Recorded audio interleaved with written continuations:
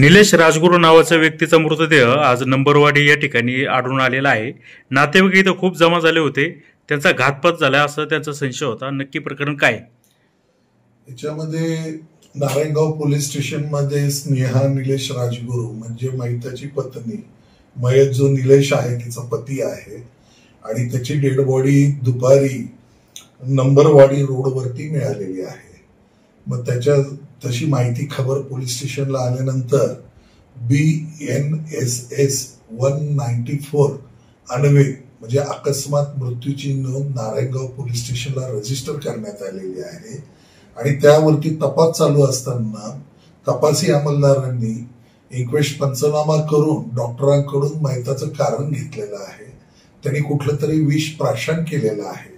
आणि त्यामुळं त्याला मरण आलेलं आहे. असं डॉक्टरांचं प्राथमिक याच्यामध्ये दिसून आलेलं आहे. परंतु अधिक चौकशी करता स्नेहा निलेश राजगुरू यांनी एक तक्रार दिलेली संबंधित पोलीस स्टेशनला.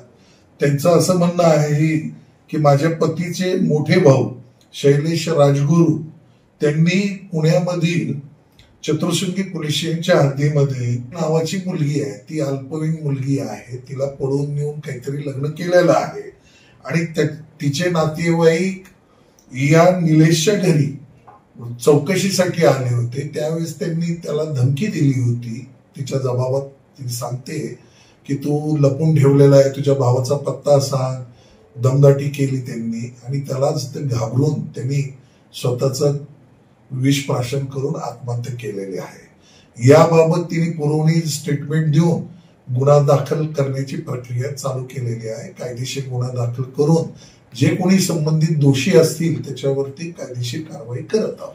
या गुन्ह्यात आतापर्यंत किती आरोपी निष्पन्न झालेले आहेत? किंवा एफ आयमध्ये किती त्याच्यामध्ये त्या तक्रारीमध्ये तिच्या तिच्या नवऱ्याच्या मोबाईलवरती जे काही फोन आले होते धमकीचे त्या संदर्भातली माहिती दिलेली आहे आणि ते नंबर एफ आय आरमध्ये घेऊन कायदेशीर कारवाई करून तपासात कोण कोण निष्पन्न होतं पुढे तपास करण्यात येईल.